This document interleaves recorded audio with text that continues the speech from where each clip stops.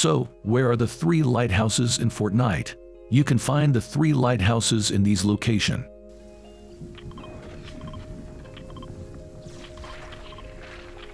Follow this method to complete. Visit the three houses in a single match quest. First go near this neon bridge in a rumble match, search 5 chests, and get some healing items.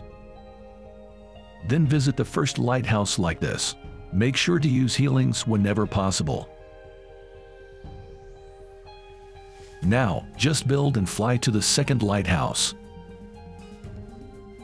Again, restore health and loot healing items whenever possible.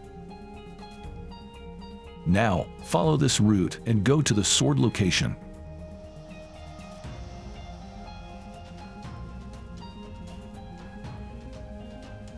Then get sword and go to this slurp location and restore health.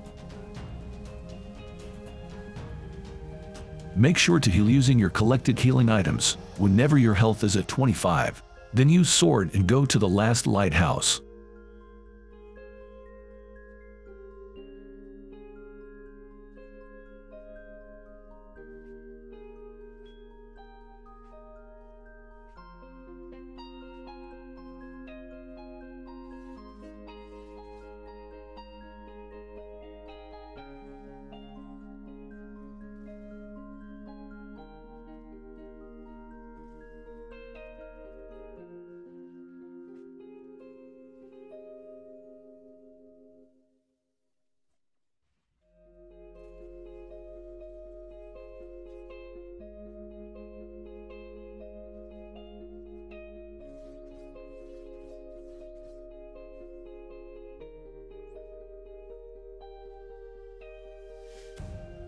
If this video helps, use code MISSION the item shop to support the channel.